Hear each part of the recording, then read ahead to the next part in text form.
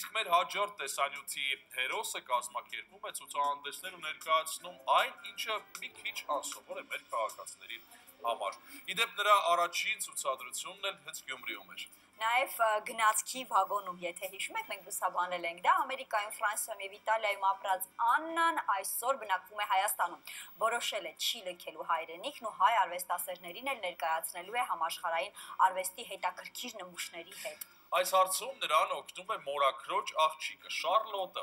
Այս անգամ նրանք ներկայացրել են 16 տարբեր հեղինակների աշխատանքների դեպ այսօր ցուցադրության վերջին օրն է չնայած ծանոթ ենք տեսանյութին, սակայն ինձ էլ հետաքրքրեց եւ առաջարկում եմ հիմա միասին դիտել նորից։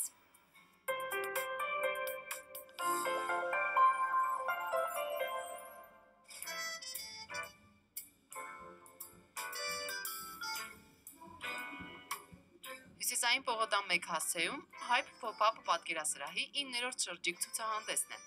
Ցուցահանդեսը կոչվում է Դանդաղում ուզում ենք, որ մարդիկ գալիս են, փորձեն հասկանալ, որ այսօր միշտ վազքի մեջ ենք ու ուզում ենք կտրել այդ արագությունը։ Օրինակ, այս գործը, այս արվեստագետը ռուս է, Անդրեյ Ամիրով, գործը կոչվում է շնչի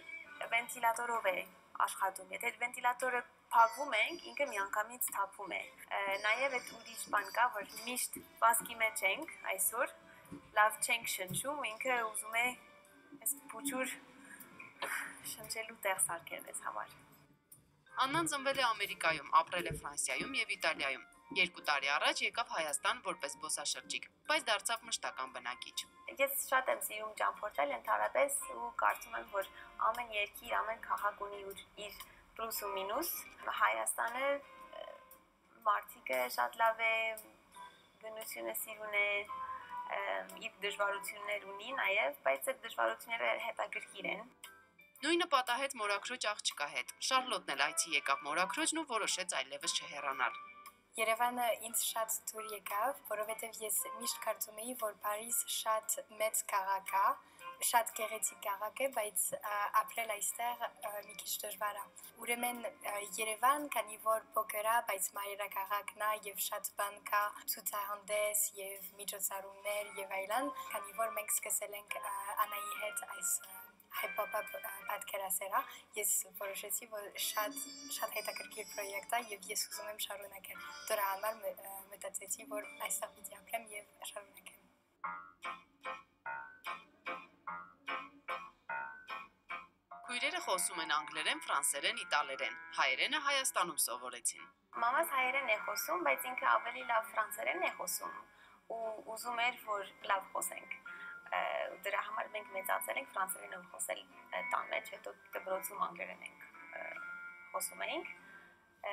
ու դրա համար, բայց միշտ այդ հայությունը, եթե կարելի է ասել, կար։ Երևի դրա համար նաև եկել եմ այստեղ, ուզում էի հասկանալ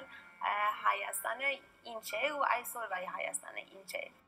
Աննան ու Շարլոտը ցուցահանդեսներ են կազմակերպում աներևակայելի վայրերում։ Այս անգամ էլ բացառություն չէ։ Շենքի չօգտագործվող հարկը 10 օրով վերածեցին պատկերասրահի։ Մտածեցինք, որ ինչու չեն կարող օգտագործել այդ բոլոր տարածքները, որ տեսնում ենք փողոցում, բայց դատարկ են, մարդիկ չի ապրում, այսպիսի քիսականված փոշի փոշի տարածքներ ու այսպես մի քանի նպատակ ունենք։ Մեկը ուզում ենք բերել արվեստը թանգարանից դուրսը ու շփվել տարբեր մարդկանց հետ։ Երկրորդը փորձենք առաջարկել ալտերնատիվ վայրերը, ոնց որ արվեստի վայրերը, ինչու չեն կարող, սա չի կարող լինի պատկերասրահ։ Երրորդը փորձենք օգնել արվեստագետները հենց գործը ստեղծելու համար։ Քույրերն այսօր ներկայացնում են նաև Երևանյան թատրոնի ինտերակտիվ պատմությունը։ Ամեն ցուցահանդես լինելու է մի 10 օր,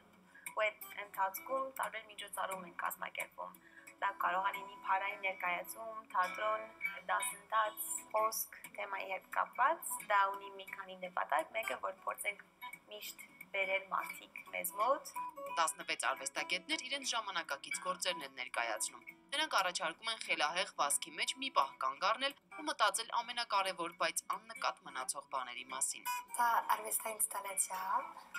ուղեկցվող մեդիտացիա մասին է։ Ինստալացիա կոչվում է ուտել մեկ ճանիչ ուշադրության առաջին համը։ ուրեմն դուք պիտի նստեք այս ականջակալները տնել եւ լսել ինչ պիտի անեք դուք պիտի զգալ ոնց է ճամիչը դուք պիտի նայեք ճամիչը իր գույնը, տապանցություն եւ այլն 5 րոպե process է, ուրեմն շատ երկար է եւ վերջում դու պիտի շատ կամացուտել։ Այս գործը Սոնա Մանուկյանի կողմից է, կոչվում է Վարսերի բացակայություն։ Մենք տեսնում ենք 100 հատ ապակի ամփուլներ ու ամեն մեկի մեջ մի հատ մազ կա։ Ասում են ամեն մարդը մոտավորապես 100 մազ է թափում ամեն օր։ Ու սա ոնց որ լինի մի օր Սոնայի կյանքում։ Հայփը կարող է լինել ամենուր, լքված տանից մինչև խանութ ու գնացք։ Մեկ վագոն ենք վերցնել ու այդ վագոնը լրի փոխել ենք արվեստով ու ծրագրամ ենք ստեղծել որ այս ժամին փարային ներկայացում պետք է լինի, հետո երաժշտությունը ու շատ զարմանալի ռեակցիա ունեին, որովհետև հիմնական ուսանողներ են գնում գալիս գնացքով կամ գյուղացիները իր բանջարներով հավով այդ ու այսպես մենք արվեստ ենք ներկայացել ու շատ հավանեց ինձ սկզբից մի քիչ զարմացած եմ մտածես էսով են էս էս երեխեքները ինչ են անում հետո մեզ մոտ եկել են ու են մյուսը երբ պետք է լինի Աշխարհով մեկ շրջել է, բայց Հայաստանի պես ջերմ ու ապահով երկիր չի հանդիպել։ Հայաստանը շատ ապահով է ու երեխաները կարող են դուրս գնալ մինչև ուշ ու ծնողները չեն վախենում, որովհետև հա բոլորը հայ են, ոնց որ մեծ ընտանիք են։ ու այդ դա շատ հյուրահատուկ է։ Կարծում եմ, որ եթե մի քանի տարի հետո ես պիտի Հայաստանից դուրս գնամ աշխատանքի պատճառով, կարծում եմ, որ միշտ կգամ։ Հա, հիմա հաստատ Հայաստանի տունն է։ Հա։